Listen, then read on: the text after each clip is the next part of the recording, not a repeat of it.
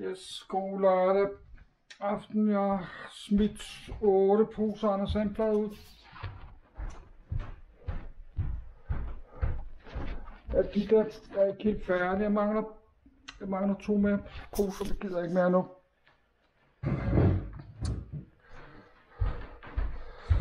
Så gør det og senere i dag. Jeg skal nyde lige om lidt. Jeg vil have en pose, en skål chips, så vil jeg lige have et glas cola, så vi jeg lige lægge op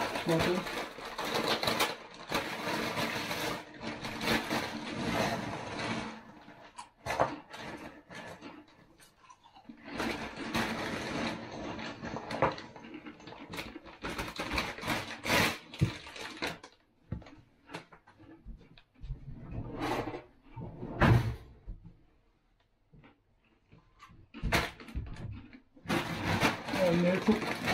leeg zijn. Zoals met de Tormex, zo'n uh,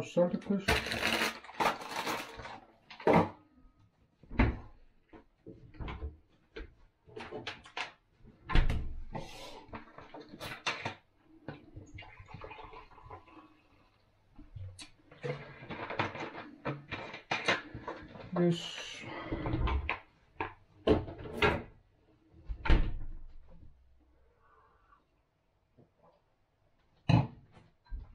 Den her også chili con carne.